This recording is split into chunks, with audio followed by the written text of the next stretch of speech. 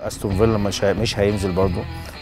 لكن الأمور دي في إنجلترا مش مش مش مش مضمونة إن هو أنا كسبت فخلاص الماتش بالنسبة له هيسيبه. لا يعني هتلاقي برضه بيلعب ماتش صعب ويست هام آخر أربع ماتشات بيكسب تقريبا كل الماتشات عامل score كويس جدا بيجيب اجوان في كل الماتشات فرقة صعبة.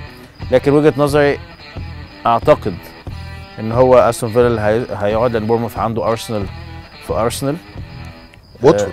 آه، قصدي واتفورد sorry واتفورد عنده أرسنال في أرسنال آه، واتفورد ضيع فوز ضيع يعني يمكن واتفورد هو اللي اتظلم شوية إن واتفورد يستحق أحسن من كده.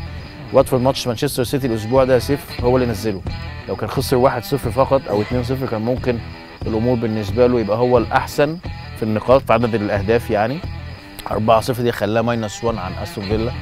فده برضو خلى أستون فيلا تركب شوية الأمور. آه متهيألي أرسنال صعب يخسر ماتشين ورا بعض. ما خسرش ماتش كمان هيبقى في ملعبه وهيبقى آخر ماتش قبل ال final كأس إنجلترا اللي وصل له. فمتهيألي أستون فيلا وأتمنى يكون أستون فيلا يعني هو اللي, يستنى. يعني. ميدو Champions League هو أنا الأول عايز قبل ال Champions League عايز يعني أتوقع موضوع الهبوط. أنا عن نفسي ما أتمناش كده لكن أتوقع هبوط آه، أستون فيلا.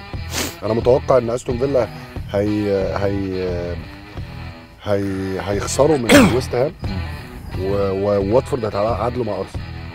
يعني أنا حاسس إن ده اللي- ده اللي أنا حاسه يعني. آه، و- وأنا بقول إن في الكورة فيها علامات يعني. التعادل بتاع إيفرتون آخر دقيقة دي آه، أنا محسسني إن ممكن الدنيا تتلخبط معاهم. ما نتمناش كده طبعا نتمنى إن هم آه، يبقوا لأن أستون فيلا ما ننساش إن الراجل الملك إن الراجل المصري ناصف صويرس غير إن إن إن إن وجود تريزيجيه والمحمدي أكيد.